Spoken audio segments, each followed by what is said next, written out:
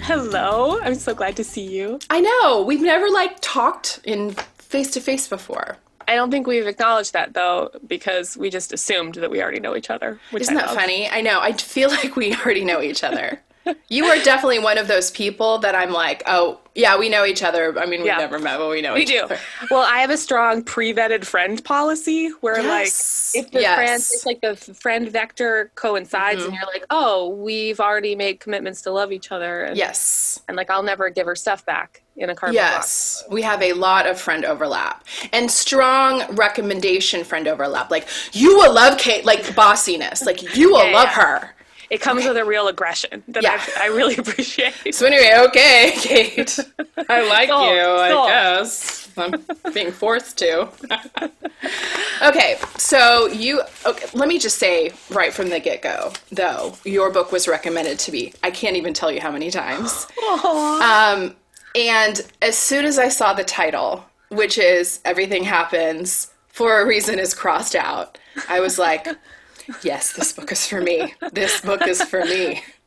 Yes. Aw, thank you for loving my evil heart. I mean, I love the book, but the title really. Thanks. Thanks.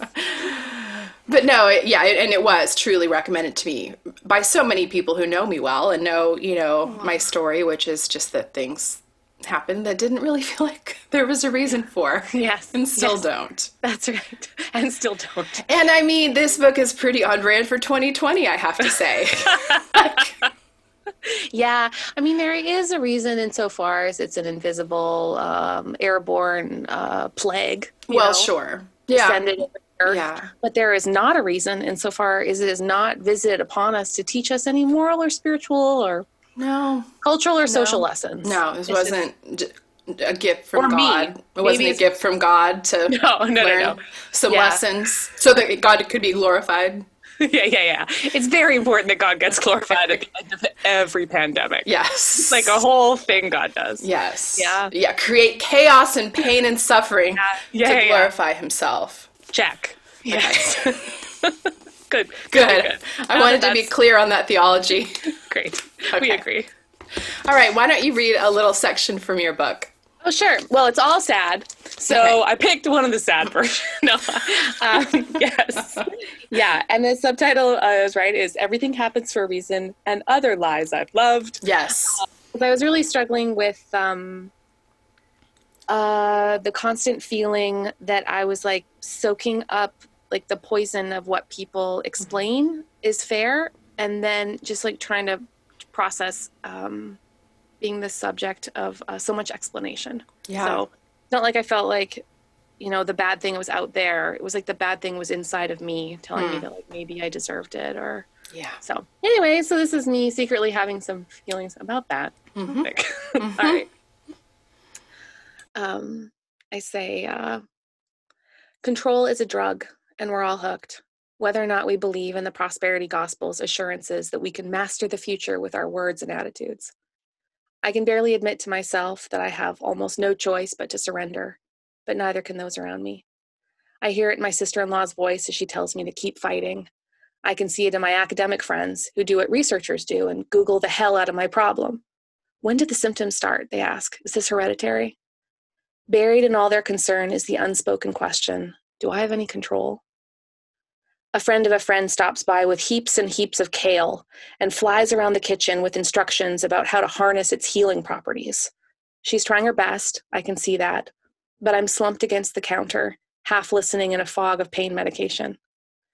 Friends keep sending me recipes for green drinks and quinoa salads, and others ship herbal supplements straight to my house.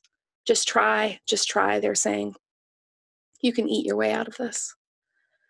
Toban and I get into a stupid fight when he finds me eating a huge, puffy Rice Krispies treat. Don't I know that sugar causes cancer? He doesn't even believe that food has caused my particular cancer, but all this talk of nutrition has infected him with a poisonous hope. Maybe I can be the cure. So that went that went well. Yeah. Yeah, I have so much to say on all of that. We we really like to try to find a reason and a cure. We really do, don't we? yeah. Um I have not had cancer. Um, but I had a similar experience around. Um, I had eight miscarriages in a row, and um, you know, it, it was just so interesting when I read your book because it was like I so recognized that need for other people to solve and to explain, solve and explain. Um, so, okay, I'm going to read a section about that. Um, I started my birthday with another miscarriage. Um, I started to wonder if God was punishing me. I don't believe in a punitive God. I had already abandoned the notion of this cruel and vengeful God I'd learned about in my evangelical upbringing. But when you're in the middle of trauma and pain, your brain tries to make connections, regardless of how irrational this may be. Your mind tries to process cause and effect, linking point A to point B. I started to wonder if this was happening for a reason. Was it because I hadn't pursued adoption first? Maybe my desire to adopt was a calling, which is a fancy Christianese term for something that God tells you to do that you better not ignore. Or also something you feel like doing but don't want to explain yourself to a designated calling. Maybe I was just being disobedient, selfish, biologically egocentric. Or maybe I just didn't have enough faith. That thought was fueled by the advice of many well meaning friends. Kristen, you've really just got to trust God on this, was a frequent res- response when I shared how scared I was or sad and hopeless I felt. You're just going to have to have faith on this one, my friends would admonish me. What is the subtext in that statement? Why do we tell people going through horrible circumstances to just have faith? It's terrible theology. It implies that our faith can guide outcomes. And yet, in my desperation, I began to buy it.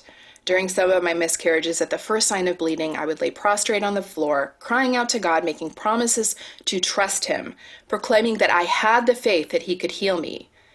And when He didn't, it crushed me. In those moments, I truly believed I could will God into miraculous action by the fervency of my faith. Christians don't like to sit with the idea that sometimes God doesn't save us from our pain. And when that inevitably happens, because pain and suffering are part of the human experience, we have a crisis of faith. This is the sticky thing about Christians in pain. Tragedy and suffering are bad press. If you didn't go up Christian, here's the peek backstage. We love a good redemption story, but we hate the messy middle. We want the story to come to a redemptive conclusion. We want to wrap it up in a pretty bow. Sure, you have been in pain, but then Jesus. We want to point to the place where God pulled us out of our pain, but when we can't find our way out of it, the narrative doesn't work. Why won't God suffer, save us from suffering? For what it's worth, this narrative around God saving us from suffering isn't something the Bible promises, but nevertheless, we believe it. Mm. Mm. Okay. So what, you know, have you figured this out? What what is our deal? with wanting and needing to explain. Yeah. And have a reason and a purpose for anything sideways that happens in our life from finding a parking spot to being saved from an incurable disease. Yeah. Yeah. Well, and um and one of the things uh, your book points out so beautifully um and especially in your understanding of messiness is that we often belong to traditions and institutions and communities that love the narrative more than they love us. Yeah. Like, Ooh, yeah. and they like need the story to work out. Yes. Else, and if we can't fit, we just like somehow intuit that if we can't fit into Mm-hmm. the story, that we won't be loved in a way that we need to actually sustain our stupid lives. Yes. And like that is Yeah. that, and like that's a, that's a, and that's a betrayal on their part. Mm-hmm. It just really feels, it just, it feels a lot like shame. It does, and I do. I, ha- I do feel I have been betrayed. I mean, that's a good word. I don't think I could have named that before you said that, but I have been betrayed in that way, where I felt like Yeah. my pain was so uncomfortable, and my lack of willingness to like, you know, kind of create a, narr- a narrative around it Yeah. that people have gone like, Ugh, Yeah, yeah, yeah. you know, I think your faith is slipping. Well, and we're, st- you know, and it's, we're storytelling machines. I get it. I do think we're like heat seeking missiles when it Yeah. comes to wanting to like explain our lives and like figure out like what the arc is, you know, because Uh-huh. it's hard to go through the middle if you don't think you're going to get to an end Right. that's better than the like Yes. crappy, horrible, Right. unromantic Mm-hmm. middle. Um, but like I, I do, and this is just my like historical hat I'll put over these enormous earphones. Um, but I do think that American culture has become particularly obsessed with a set of cultural scripts that it adopted in the late 19th century and that just continue to um, not serve us well. Mm-hmm. And and so that those in those sort of cultural myths Yes. are in particular um, a rabid individualism, which Yeah. frankly people needed to explain cities. You know, when you're living in proximity with tens of thousands of people for the first time in American Mm-hmm. cultural history, you just kind of wonder, why is that person doing well and I'm not? And like proximity breeds comparison, it breeds um, explanation and cheap paperbacks designed to sell you the solution. Yeah. And one of the solutions that it sold was a story that had begun to consolidate when it was trying to imagine. So it was like the beginning of the discipline of psychology, and people are, are trying to understand like, do we have power in our mind to change our circumstances? And so this huge subcurrent of religious and cultural thought centered around the idea that these like righteous individuals could just harness the power of their attitude and their Mm-hmm. Yeah. mind and their will. And like Yeah. it was just a version of bootstrapping and that they could transform their lives. And Yeah. You know, it, it, it channels into these versions of religious history we think of as purely metaphysical, like new age, new thought. Mhm. Actually, so I, I got this for my birthday.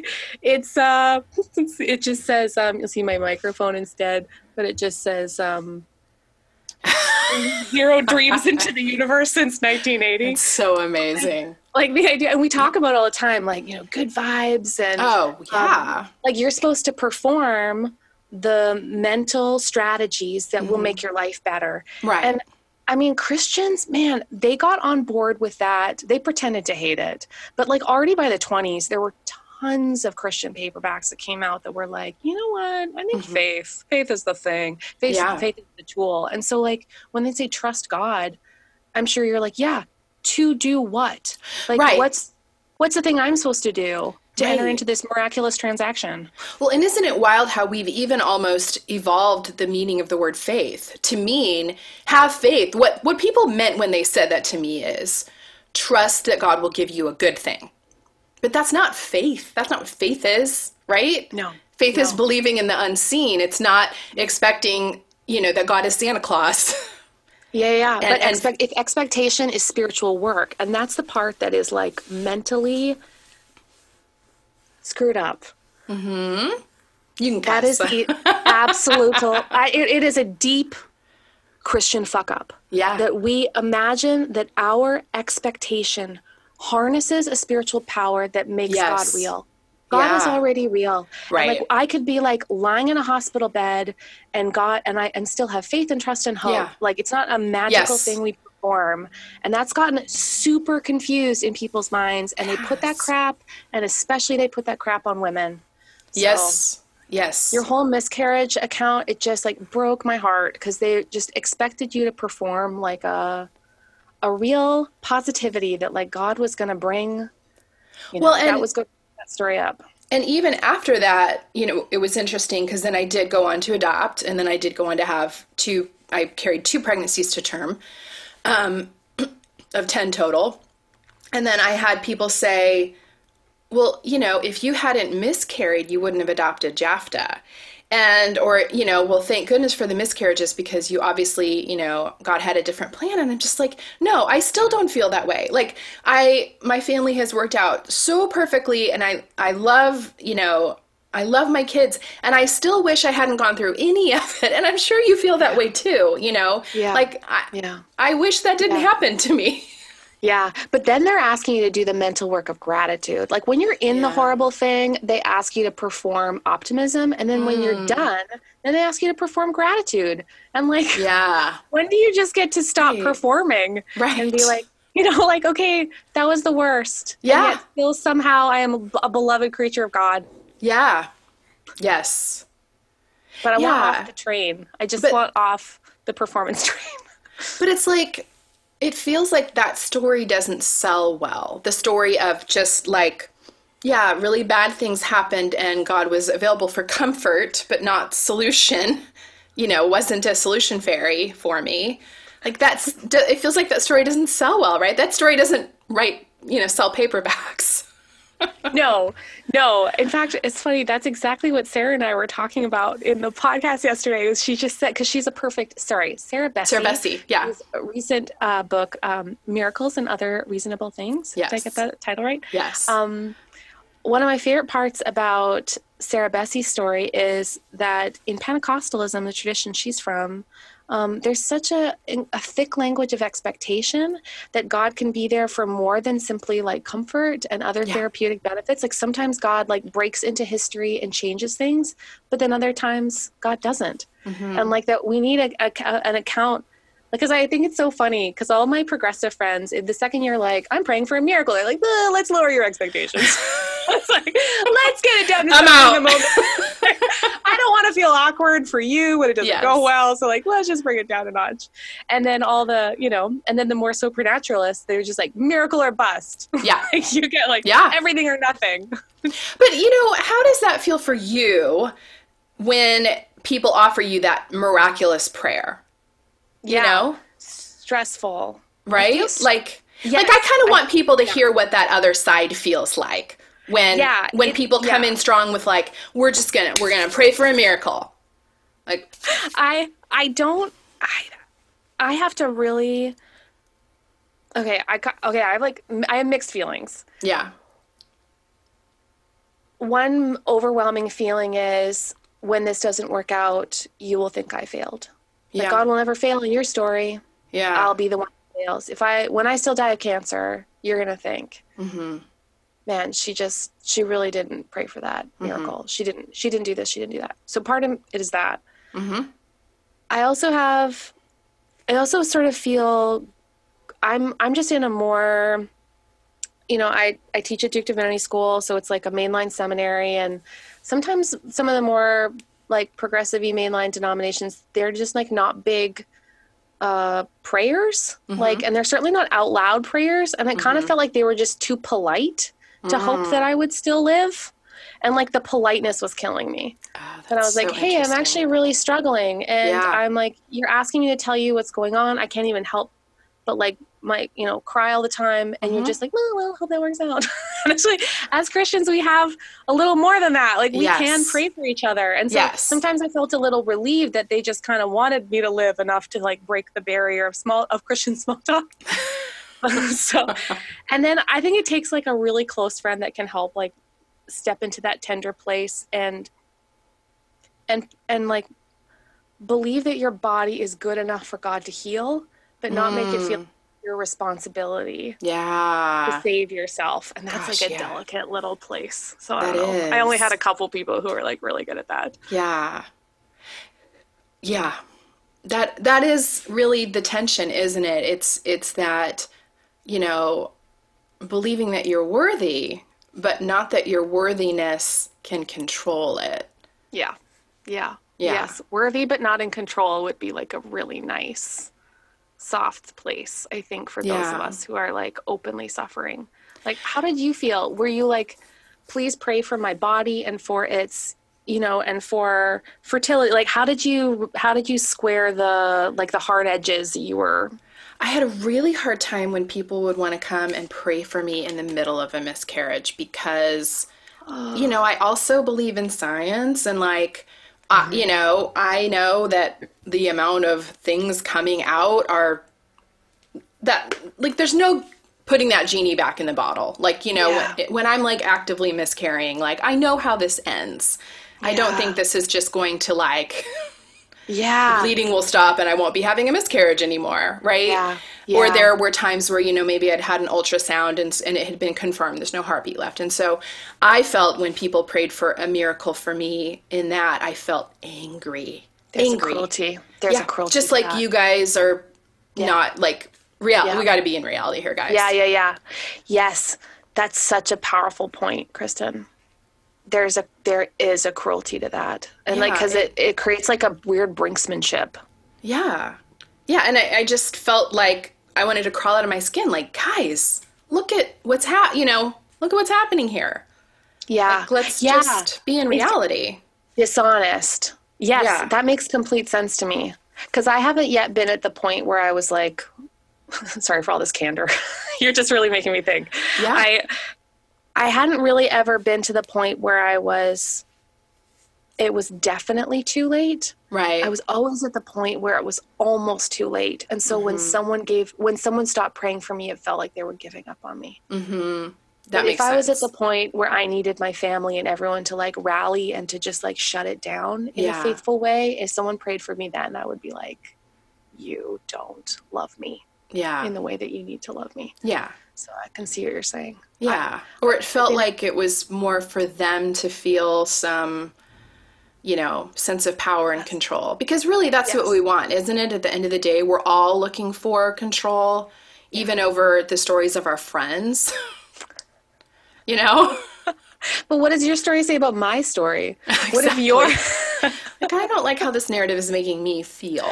I feel like your and I think this is true about um you know, like the way people frame like the second one person gets divorced, they're like, "Oh no, that's giving me a lot of hmm marriage, marriage questions." Oh, it's so true.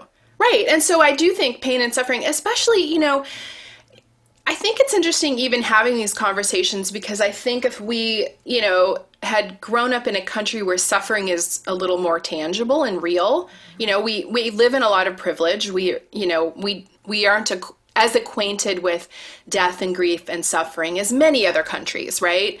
And it's almost like that's one of the reasons we get so inspired when we go on mission trips, you know, and people say dumb things like, I saw Jesus in their eyes, or, you know, they had so much joy despite, you know, it's like we can't conceive of life with pain because we've been so shielded from it with our modern medicine and our, you know, Yes. right?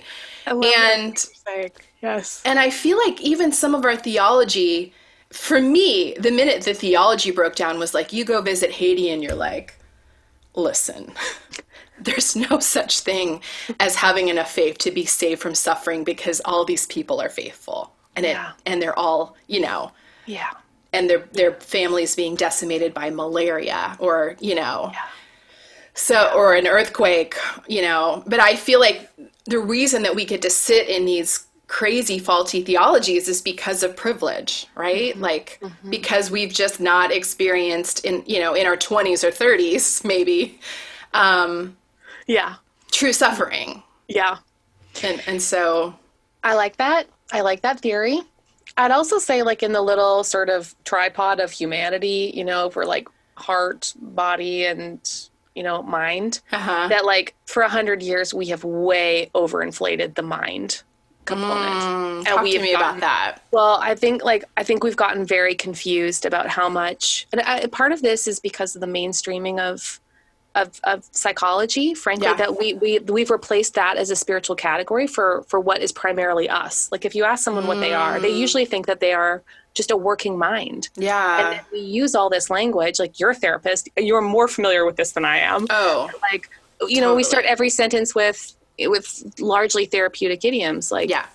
I feel that, or Mm-hmm. you know, we have a, a, a huge vocabulary for how Mm-hmm. we are we are thoughts that need to be corrected, and we are we are I'm sure thoughts that need to be corrected. Yes. But I do think that churches got confused in thinking that our brains were the primary driver of faith, and if we just had the right Mm. thoughts, everything would work out. Hmm. And I think we all know experientially that um, that righteous people die every day, Yeah. and terrible terrible people thrive, and Yeah. and that the place in between is knowing that like we are some weird combination in there of heart and body and mind, and all of them are beloved by God, and none of them are really in control of the universe. That, I mean, that is the truth. Like, I just feel like you explained it all. yeah, that's the truth. I'm going to put zero dreams out then Yeah, to the universe totally. as a result. I mean, it, it, it is kind of interesting. You know, my daughter said to me the other day, she's 10, and she said, I feel like God is not answering my prayers. Hmm. You know, and I, it- it's so interesting trying to raise children in a way that's different from how I was raised, which was this sort of a little bit of a prosperity gospel, like have enough faith and God will heal you. Yeah. And it, I feel like I almost said what your T-shirt said. I mean, I was just kind of like, well, that's not really what he does. but you could pray for him to come near. Coming Yeah. near is in the Bible. For sure. For sure. and we're hoping for some big surprises. We Yeah. really. We're hoping for a big, big finish. We're hoping for Yeah. lots of stuff in there that seems really great. I think it's, I think it's, it's hard when, when you've had the language of certainty that's like so weaponized against the tender. Yeah. want to like you know wrap your spiritual arms around the the Yeah. tender folks and not the overcorrection is to not promise anything the mm-hmm. undercorrection It's so true. allow the culture to weaponize Yeah. suffering Yeah. Well, and I mean, to be fair, her prayer, unanswered prayers were uh, in regards to me giving her more screen time. so I was like, I don't think that's God's job. I'm Yeah. glad you're pr- praying for that. That's my job and i say no Yeah. actually it's weird but our a message from our lord and sovereign god's coming in and Yes. Mm. god's definitely saying no it's Yeah. weird i heard actually Got my earpiece in, and he feels like 30 minutes is enough for you. screen time that's so funny You know that your kid is like really privileged when their like fervent nightly prayer is like about screen time. Like, what kind of life are you living? totally. I'm starting to count the number of times I say things like, um, uh, no, you can't watch one more of that. Also, whose blood is that? I mean, there's just a lot of Totally. really getting, What really is? getting out there. I feel like every day I walk downstairs, I'm like, what? What is this rated? what, what is this? Are you watching this? Hellboy? It's like the best afterthought ever. Right. Hey, guys. Hey, oh. Oh well. I also do that with my children a lot. Like we start watching a show and then I'm like, cool. should have cool. googled this one first. Yeah. I'm just gonna undo that from your minds. Oh That's fair. man. Well, we forget how crass those 80s movies were. Yeah, Back to the Future is more than I remember. Um, Airplane has boobs. Airplane has boobs, like naked boobs. Yeah. How do I know that? Because I showed it to a bunch of boys at a slumber party. So then, you know, I get to like send a text to all the parents, like, I'm really sorry. Your kids saw some boobs at my house. I want you to hear it from me. That's very much a text I would like to see a screenshot of. Well, because I'm thinking they're going to hear it out of context, Yeah. right? The Yeah, kid's yeah, just going to go like- home and be like, "We watched boobs at Jafta's house. We were shown boobs. We were shown boobs." Yeah, we were sat down and instructed to look at boobs at that home. Now we're just totally off topic, but I have this David Sedaris coffee table book. It's like his journals. It's a big book. Sits on our coffee table, and there was some like there was some penises. You know, there was some casual casual man standing around with everything out, and my kids were like, "No, this can't sit out." and I'm like. I, there's a part of me that's like it's the human body, you know, whatever. But then there's a part of me that's like, I know that this is going to be the story of the Howerton house is that they have they have penis pictures on the coffee table. yeah, yeah. I don't want to answer for this by text. No, so I Yeah. took a Sharpie and I drew a speedo over all, Win-win. all of the penises. Anyway, I'd say, I'd, I'd say that's that's called compromise. it is. Yes. Anyway, um all right.